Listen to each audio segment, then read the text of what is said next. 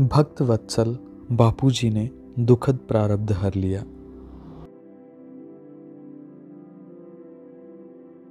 साध्वी सजनी बहन, जो पिछले 36 वर्षों से संत श्री आसाराम जी महिला उत्थान आश्रम में सेवा साधना, परायण जीवन का सौभाग्य प्राप्त करते हुए अपना आध्यात्मिक उत्थान कर रही हैं और जिन्हें पूज्य बापू जी की पूजनीय मातुश्री, माँ महंगीबा जी की निजी सेवा का सौभाग्य भी मिला है। अपने जीवन में एक घटित प्रसंग बताते हुए कहती हैं, बचपन से ही मैं पैरों के दर्द व पेट की तकलीफ़ों से बहुत परेशान थी। जिस दिन दवाई ना लेती, उस दिन चलना मुश्किल हो जाता था। एक बार मैं पूज्य बापूजी के दर्शन करने आश्रम गई तो पूज्य श्री ने मुझे प्रसाद दिया। प्रसाद खाने के बाद कुछ ही देर में सालों पुराना पैरों का दर्द चला गया।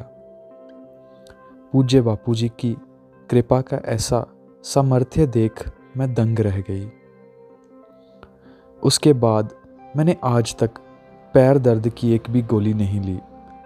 बाद में मैंने पूज्य बापूजी से मंत्र दीक्षा ले ली और मुझे महिला आश्रम में रहने का सौभाग्य भी मिला।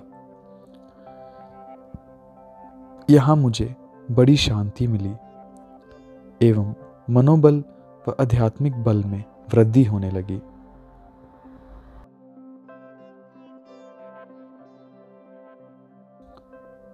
पर मेरा तीव्र प्रारब्ध होगा, इसलिए यहाँ भी रोगों ने पीछा नहीं छोड़ा। बहुत इलाज कराने पर भी लाभ ना हुआ, बल्कि तकलीफ़ बढ़ती ही गई। आंतों में छाले पड़ गए, पानी की एक बूंद भी पेट में नहीं टिकती थी। मेरा वज़न मात्र सत्ताईस किलो रह गया, वैद्यों व डॉक्टरों ने भी जवाब दे दिया। मैंने पूज्य बापूजी के श्री चरणों में समस्या निवेदित की तो गुरुदेव ने मुझे हिम्मत दी और कृपा स्वरूप स्वास्थ्य मंत्र तथा रुद्राक्ष की माला दी। पूज्य श्री के आशीर्वाद एवं प्रसाद से मेरे चित्त को बहुत ही शांति मिली। रात को सपने में बापूजी के दर्शन हुए। भक्त वत्सल पूज्य बापूजी बोले, बेटी, तेरा जो दुखद प्रारब्ध था उसको मैंने हर लिया है। अब तू निश्चिंत रह। दूसरे दिन से ही मेरा स्वास्थ्य ठीक होने लगा। सारी तकलीफ़ें ठीक हो गई। कहाँ तो एक एक दिन जीना भी मुश्किल हो रहा था।